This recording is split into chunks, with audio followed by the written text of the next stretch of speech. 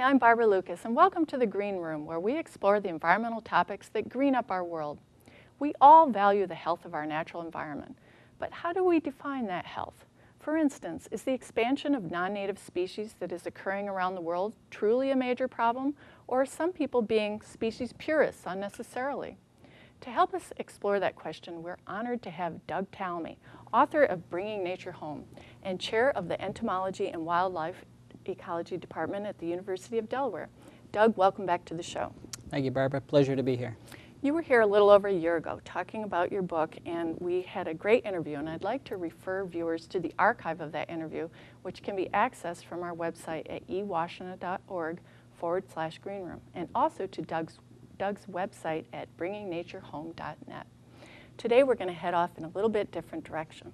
But before we do, can you give us one or two sentences, I know it's hard, but about uh, summarizing some of your major points?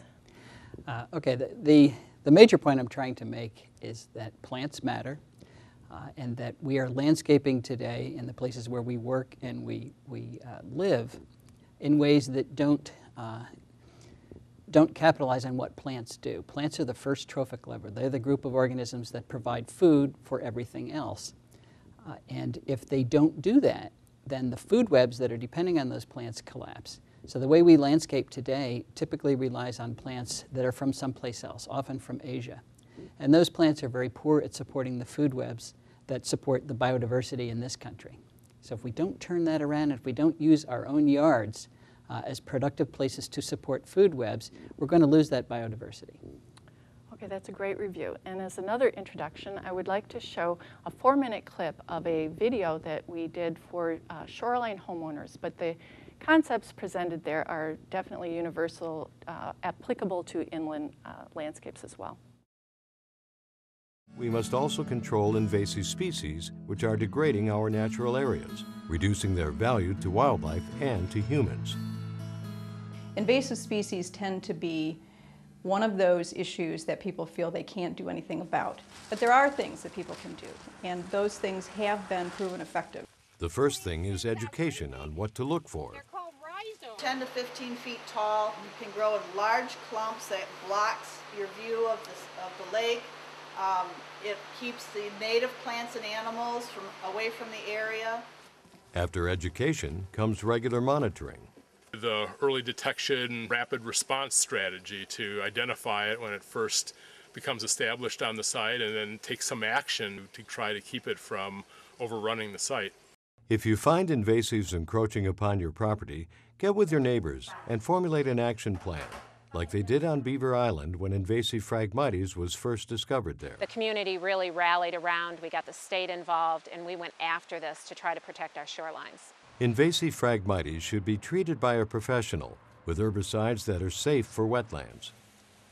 Invasives like Phragmites are rarely planted intentionally, but there are many plants that reach new areas because we bring them there on purpose. Don't judge a book by its cover. Even plants labeled as earth-friendly can get out of control. For instance, Creeping Charlie, or moneywort, can spread rapidly in moist areas. Dry habitats are also at risk. I bought this little tiny pot of this sedum because we were trying to get this rock garden started and we were really surprised to see that it went from the front yard to the backyard and we didn't do anything to bring it there. It's not just what you plant, but what your neighbor plants that you need to watch out for. He put it in because he thought it looked attractive, like a couple of clumps. Now it's taken over his entire property. That stream is completely choked with it and it's encroached into my stream, and I don't know how to get rid of it. The safest thing is to use plants that are native to your area. If you aren't sure where to get them, search on the internet the words native plants with your locality, and you will find vendors of native species that will control erosion, filter pollutants, and provide wildlife habitat. The chokecherry is a super good example of that. It has a really beautiful flower. Um, it produces a purple berry, which which the birds just love. Look for species that you know are adapted to your property's specific soil and climate conditions. And see things in other parts of your property that move well and take it and take it from one part and put it in another part. When we first moved here, I started out using plants that I bought. First thing I planted was some Pachysandra, and then I did some periwinkle. And then we decided that we really should start thinking about something more natural. So we're replacing those with some bearberry, and um, we found grasses in the woods that we've uh, put in along our sidewalk. Invasive species thrive on disturbed soil, so during construction, preserving the native seed bank is important. Cover over the very top of the topography that you want to rebuild with the soil that you had excavated from the top. And all the life that's native to the surface would be put back in place. It won't look like it at first. We have wildflowers that are just unbelievable, just by being very, very patient. The native plants that grow there naturally will not require chemicals to thrive. Choosing plants and turfgrass that require chemicals to look good uh, that's just uh, inviting problems, and, and it's not necessary. Why waste your money? But encouraging versus removing native vegetation takes a shift in cultural values. I see a change happening. I got off, you know, the, the regular path, like Robert Frost said. You know, I came to the opening and there were two paths. I took the one less traveled and it made all the difference. That video talks about plants that are aggressive spreaders, but you are talking about uh, even plants that aren't aggressive spreaders shouldn't be planted if they're not native. Now that's very controversial. In fact, there was an article this summer um, written by Mark Davis and I guess 18 other scientists that was printed in Nature magazine. It was entitled um, Don't Judge Species on Their Origins. And they have uh, objected to some of these concepts. They're saying that it's actually a falsehood to say that uh, invasive plants are causing extinctions of native plants. How would you address that? Uh, for that particular point, I would, I would make a distinction between global extinction and local extinction. So it is true that so far there are no records of global extinction where a plant disappears from the planet, uh, at least on continents, when an introduced species invades. There are records on islands where the species disappears. Hmm. Uh, but there are many records where locally, if a plant, for example, kudzu, takes over uh, and, and smothers the local plant life, where the species that used to be there disappear. So we call that local extinction. Even if a plant doesn't, doesn't disappear, though, you may find one or two individuals. Um, there's something called functional extinction, where it becomes so, so uh, uncommon, so reduced in numbers that it's no longer performing its role in its ecosystem. Uh, and that needs to be addressed as well. We need function in our ecosystems the extinction on a local level reminds me of the yard I had uh, several years ago where I planted euonymus and myrtle as a ground cover, and pretty soon I couldn't plant anything else. No other flowers, or uh, no flowers at all. And the local um, level extinction in terms of uh, Hurricane Andrew, we were talking about that before the show, that it caused uh, a wipeout of certain species because they weren't just weren't enough of them. Right, particular birds. I think it was uh, one of the subspecies of seaside sparrow that actually uh, went globally extinct. It disappeared after that because it was reduced to a single small population, and then that storm happened to hit where that population was. Uh, so the birds couldn't recover. And that's the problem with reducing uh, our local species so much in numbers that there are just a few remaining. Then they're, then they're highly vulnerable to extinction. And there's critics of Davis's um, points are saying that extinctions aren't the only problem, um, that there's many other problems besides that. Right. Uh, the notion that we can move plants all over the, the planet without uh, any, any resulting problems um, is, is a problem in itself because plants do a number of different things. What I focused on is their role in terms of supporting other types of life, so their role in providing food for food webs. And unfortunately, plants from, from Asia, for example, are very poor at doing that in North America. And likewise, plants from North America are poor at doing that in, in Asia. Um, so that's an argument that hasn't been addressed by, by Davis and, and uh, some of the other uh, critics of, of uh, fighting invasive species. Um, they, they're assuming that these plants can be interchanged and you'll have, they'll be the ecological equivalents of the plants they're displacing. Um, and, and I wish they were because they're displacing plants all over the world. But unfortunately, all the data suggests that they're not the ecological equivalents. And when a, an introduced plant invades, diversity of, of uh, food webs, all the other life forms that are there, drops dramatically.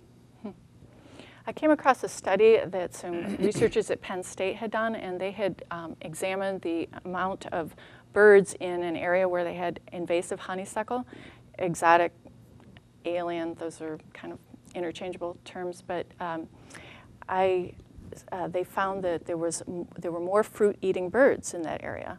What did you think of that?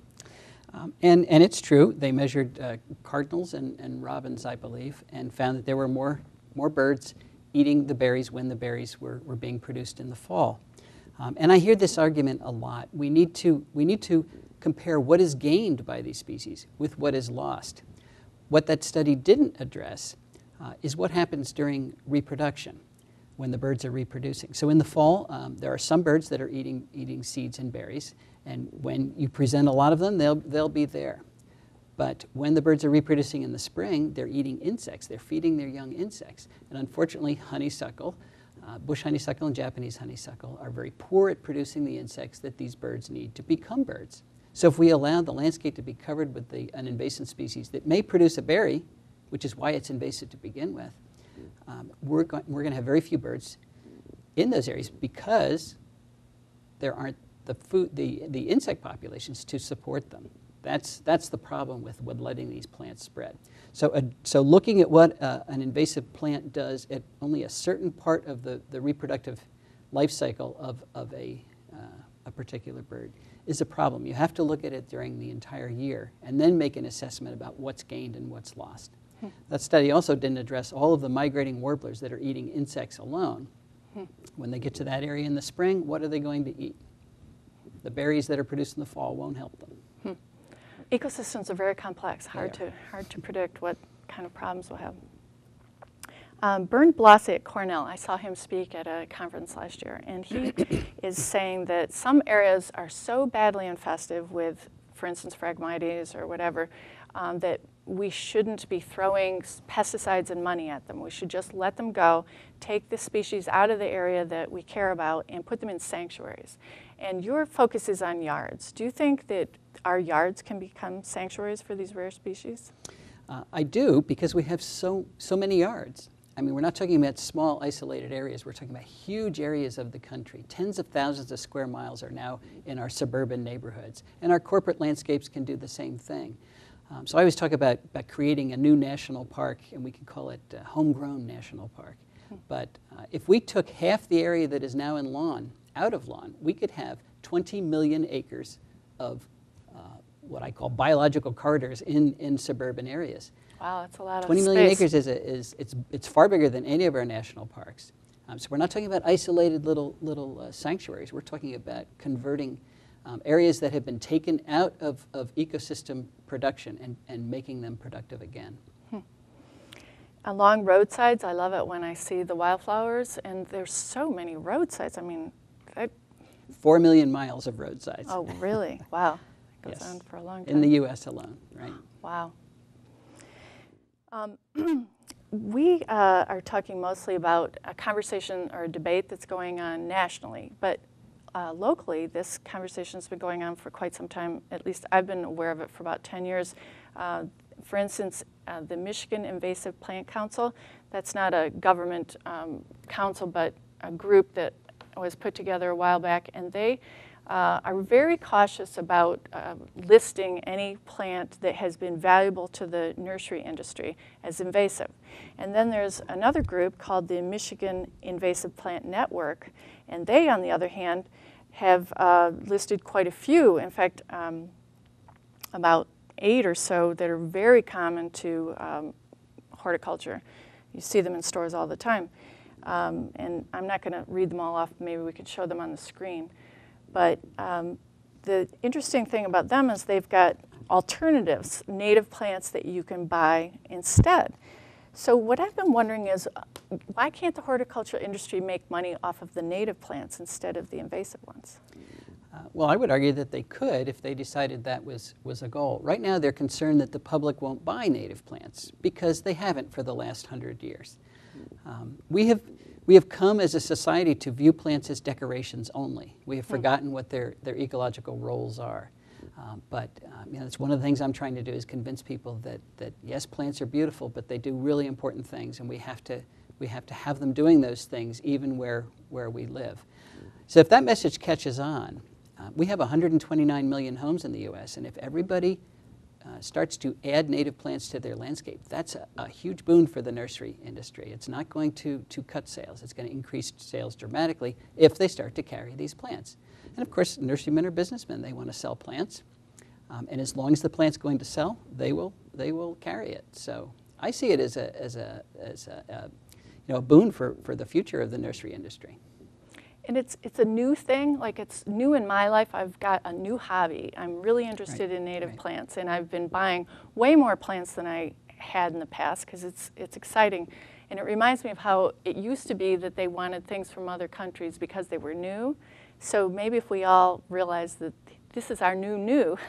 The new new can be can be the old. But let's not forget what these plants are doing. When we put these plants from, from our, our local habitats into our yards, we then get to see all the things those plants attract. Mm-hmm. The hummingbirds and, the, mm, and the butterflies. Those are so and, beautiful. Yeah, it, so we get to interact with nature um, the way we can't when we're using plants from, from Asia.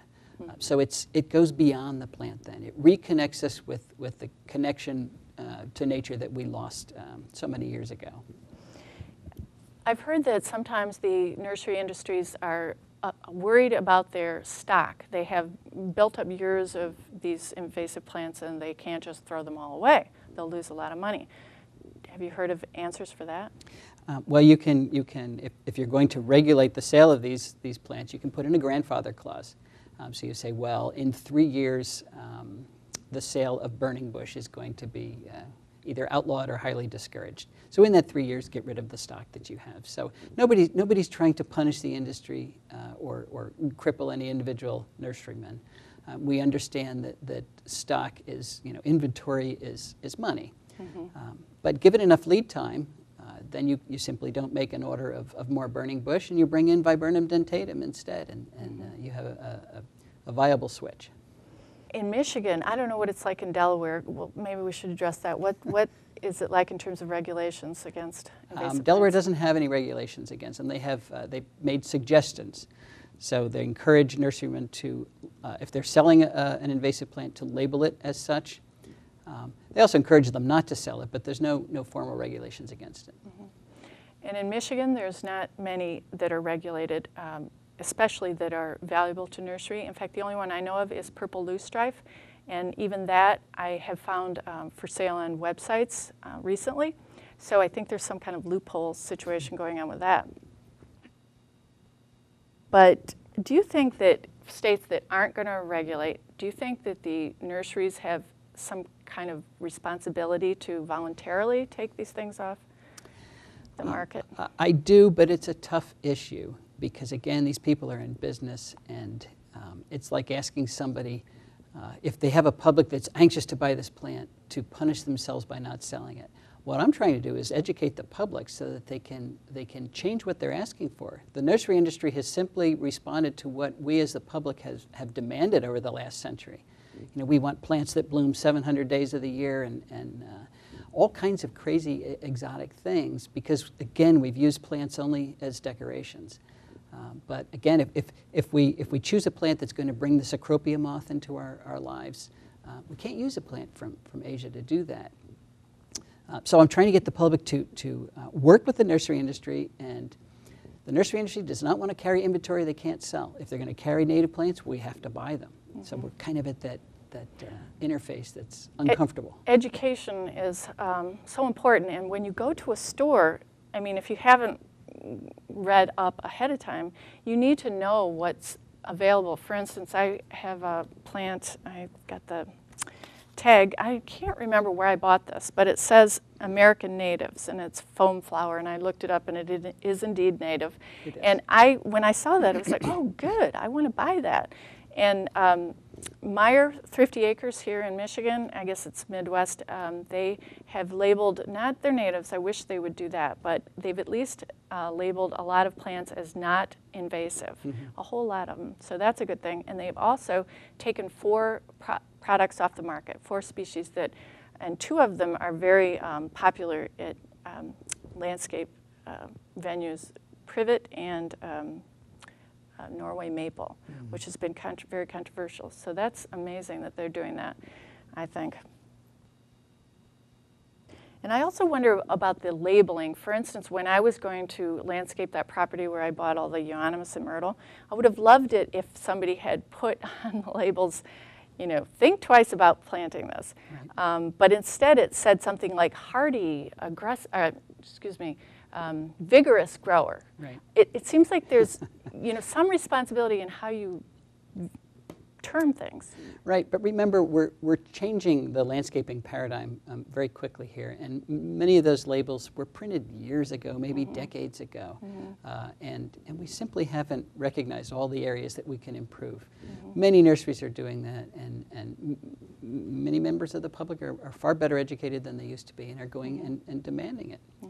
Mm-hmm. But in the old days, if you walked into a nursery and said, I want a native plant, they thought if it grew in the woods, it was native. Mm -hmm. uh, but of course, there were many things from Asia that grew really well in, in the woods. So, so we're getting better. well, um, another thing I would like to address is this um, handout from Michigan Invasive Plant Council. They do various assessments on plants, and one of them is English ivy. And I thought this had some interesting thoughts in it. They talk about English ivy as not being um, invasive uh, in a significant manner in Michigan. And they say that uh, if a gardener um, doesn't want it, it can simply remove the plants. And it says pull them up or use chemicals. Um, and you have talked in your book quite a bit about the uh, garden you have and how much work you've put into it. Do you think that they're kind of oversimplifying that? Uh, in several ways. Um, you know, English ivy is, is uh, one of the plants that was brought in and exhibited a lag time. So it was sold for years and was not uh, an invasive species, didn't move around. Um, and then all of a sudden it did, and that's what many of these, these species are doing. It's already banned in, in Oregon, where it's a, a, very serious invasive. It's a serious invasive in many places in the east. So to assume that, that it's not going to become invasive in Michigan is, is really a, a stretch. Um, the scientific evidence that it will be or already is is, is pretty good. Um, and, and if you if you minimize the impact uh, and the amount of work it takes to, to get rid of these, these plants, all I'll say is for any homeowner who has English ivy, try getting rid of it and see how easy that is. Um, pulling it doesn't do anything. It leaves too many roots and will come up all over the place because it roots everywhere it, it goes. Uh, and yes, you can, you can drench your yard in, in Roundup or some other herbicide, and eventually you will kill it. But um, it's one of the tougher things to, to manage. So it is far easier to prevent these invasions than to encourage them. And when you blanket an area with a, a pesticide, then you've got like just a, a open space. That, and what's the first then thing that comes an, back? You have an open niche, and of course, invasive species are really good at beating the natives back. That's why they're invasive. Um, so if you're going to remove a, a plant that, that uh, shouldn't be there, you should have a plan of, of what native plant to put back in that space because empty spaces, empty niches just invite reinvasion. And then you're, you're at this for the rest of your life. I mean, it's a tremendous amount of work as it is, but, but uh, you're really, you're conducting a restoration. So removal is the first half, but replanting is the second half. You want to have a plan about how to do that. Which isn't cheap, and it's a lot of work. It's a lot of work. I've done so much of this that sometimes I wonder whether it isn't that um, the two camps haven't really um, walked in each other's shoes. If, if people knew what it was like to try to get rid of this stuff and to try to restore with new plants, and the same goes for, you know, if we worked in the nursery industry and we knew what it was like to try to make a living, you know. So sometimes I think that's part of the problem. That, that's for sure, but, but let me emphasize how, how worth it it is. We've done this at, at our house, and um, it was nothing but invasive species. Uh, and they still seed in, so we still have to watch it every year, but the plants that are there are you know, 99% uh, native at this point, and it's, it's, uh, it's a living paradise, it really is. Every oh, day we great. see something, something new. So it's not simply a matter of getting rid of the plants, it's a matter of inviting all these other life forms into your life. So enriching. Mm -hmm. Great. Um, one other thing that I want to mention about this, it talks about it's um, due to Michigan's short growing season that they feel that um, ivy is not going to be, a, English ivy is not going to be a problem here. But um, that reminds me of when they used to think that the various uh, oriental honeysuckles weren't going to be a problem in Michigan because we have such cold winters, but it turns out they did okay. And then with climate change, makes me wonder. Right. All those things are a factor. If, if there are any places in Michigan where English ivy is making berries, it will move because the birds eat those berries and then fly off and poop them out someplace else. Hmm. Which reminds me of Oriental bittersweet. You were telling me before the show that there's no such thing as um, the native bittersweet pretty much in Michigan because they've interbred or Um, oh, yes, uh, hybridization. hybridization. So there's Oriental bittersweet and, and, and uh, American bittersweet. And uh, in, in Delaware, you can't find anywhere in the east, uh, except in the northern parts of New, New England. Um, American bittersweet is gone because it is hybridized with uh, Oriental bittersweet. And it's, it's uh, through introgression. It's very much what's happened with the uh, Africanized bee. Mm. Um, after the second generation, you have pure Africanized bee, and, and same thing with the uh, Oriental bittersweet. When it hybridizes with American bittersweet and then reproduces again, you've got just uh, Oriental bittersweet. So that will lead to the extinction of that plant, and then we'll have our first record of, a, Mm. of an extinction of Which really plant. concerns me because I see that being sold in the farmer's market locally. Yes, yes. And if you want to try having fun getting rid of something, try getting rid of Oriental bittersweet. Yay. That- Well, you talk about a paradigm shift in here, and I want to let you know that it happened to me because I planted some native bushes and I immediately got holes in them. And I was so excited. I went, Oh, they found me, they found me. And it used to be I would have gone out and bought pesticides to kill the insects. So I thought, There's that paradigm shift. It's happened to me. Let me point out some research we've done, though, to, to uh, ad- address the thing that people worry about most. If you do have all these insects eating your native plants, then they'll be ugly because so much of the leaf will be eaten. But in fact, we've, we've measured insect damage on properties that are largely native versus properties that are traditionally landscaped. And there's actually less damage on the native uh, properties because the natural enemies that control these, these insects come to your property um, when you have them. And you have a, a food web that's in balance. So you don't have too many herbivores uh, as you would when, when uh, you don't have those natural enemies around. Well, it looks like we're out of time, unfortunately. this has been a great show. Uh, we've provided links to resources relevant to today's show on our webpage at ewashtenaw.org forward slash greenroom. This includes a link to watch the Home on the Shore video in its entirety. Thanks for joining us here in the Green Room.